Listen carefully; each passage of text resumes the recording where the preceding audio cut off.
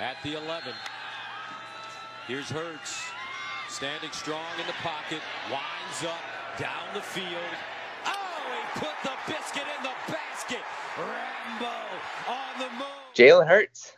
Jalen Hurts. Um, I know my opinion on him. I already. I'll, I'll talk about that later. What are your thoughts on Jalen Hurts? Wait, I want to ask you a question. Did you finally watch the Baylor film? Because that was my biggest turnoff. That was the moment I was like, okay, I don't see the hype.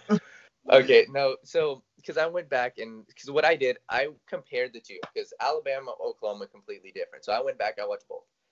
Oklahoma made it so easy for him. Oklahoma was like his completion percentage was 69% this year, and I was like, there's no way that's actually him. It's a Lincoln Riley system, a lot of screens, a lot of easy throws.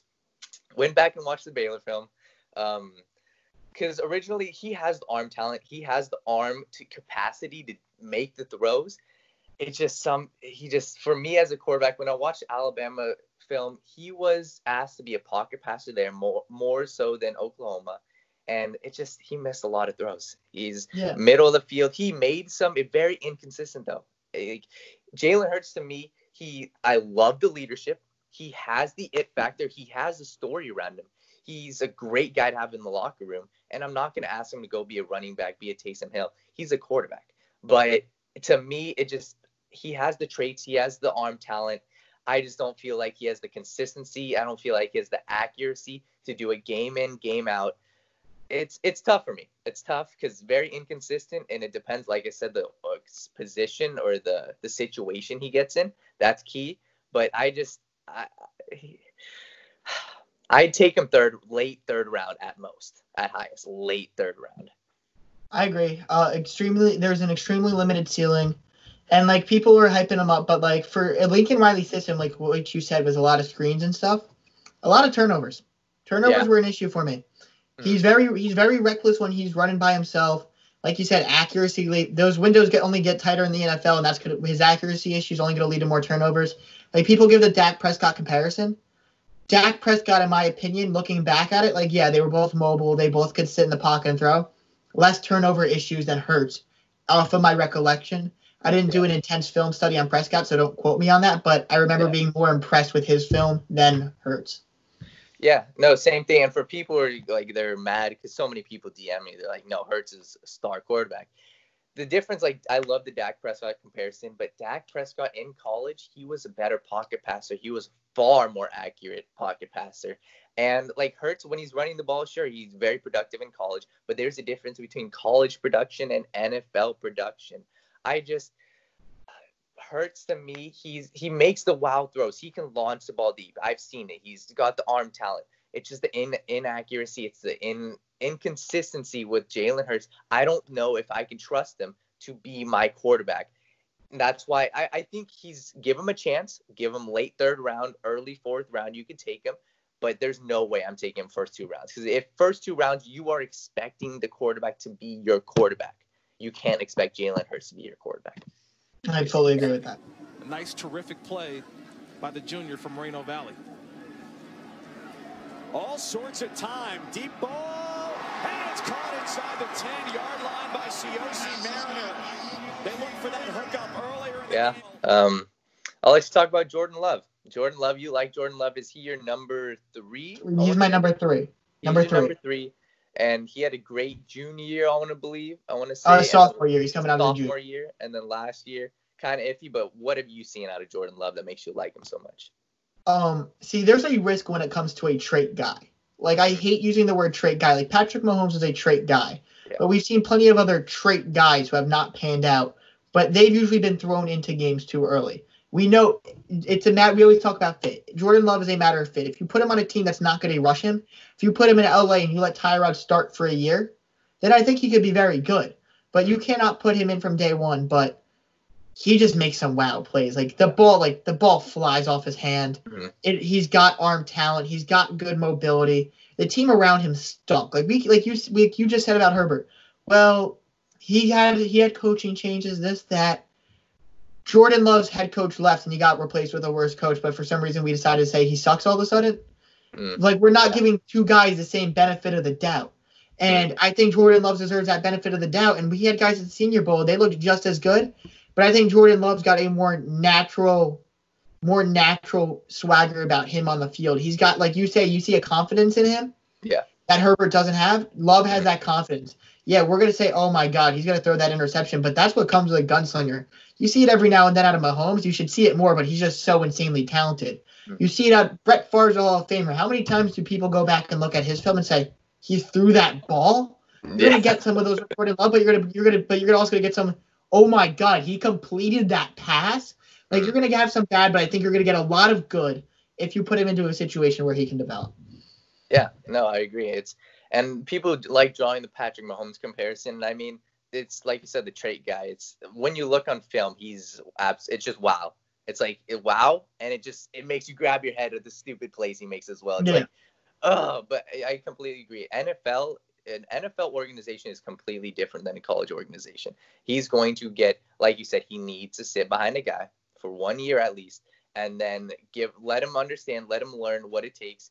And like you said, I'd be willing mid first round to go bet on that. Just bet on the traits alone. I'd be willing. Like, let's say I know you didn't like this. I think the New Orleans Saints. If if Yeah. they if they have a chance, I don't know who they, who they else they want to pick, but I mean to sit behind Drew Brees for a year because we know Taysom Hill's not the option behind Yeah. Drew Brees. Sit behind Drew Brees for a year, then let him come in after two years. Uh, that's a perfect situation for him. Yeah, I like the situation. It's just I think they're gonna have to trade up. That's the Yeah. thing. It- Oh, or the Saints willing to trade up. The situation's good, but I think like remember the Chiefs traded up 15 spots for Mahomes. You're gonna have to trade up for Love, and it wouldn't shock me if you're trading if you're trading. Honestly, I could see the Saints trading up to the 49ers pick, and they just want more the 13, the 13th pick because they hop they hop the Bucks at 14. Bucks at 14, yeah. Like I could see them hop like that's a pick I could see. Um the Jets at eleven could be looking to trade down. They could use I I've if because if they're looking receiver round one, we've talked about the receiver depth. I could see them looking to trade down depending on how the, their early draft Oh. board falls. But it's just like a matter of what team is willing to take the haul to to, like take go take Jordan Love.